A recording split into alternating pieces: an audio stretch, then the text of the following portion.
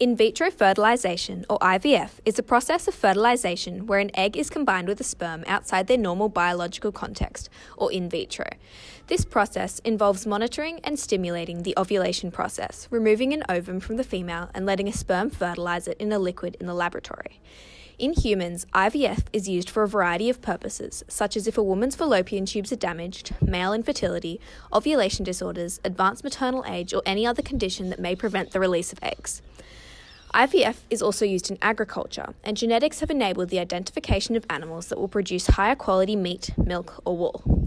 An understanding of genetics and breeding strategies allow for the production of livestock that are more suited to the environmental conditions, leading to more environmentally sustainable farming practice. There are positives and negatives for this practice, and it is a contentious issue in the agricultural community. Advantages include that assisted reproduction technologies are revolutionizing livestock farming and increasing profitability. Technologies such as artificial insemination and superovulation combined with IVF allow the breeding of animals with optimal genetics at far faster rates than is possible using natural mating.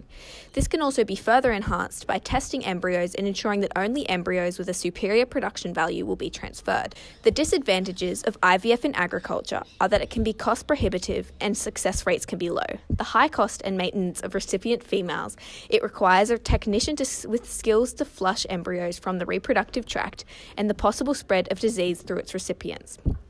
These advantages and disadvantages paint a picture of the impact IVF could have on agriculture, possibly improving the sustainability and efficiency of the production process, however, causing it to become more expensive and difficult to produce.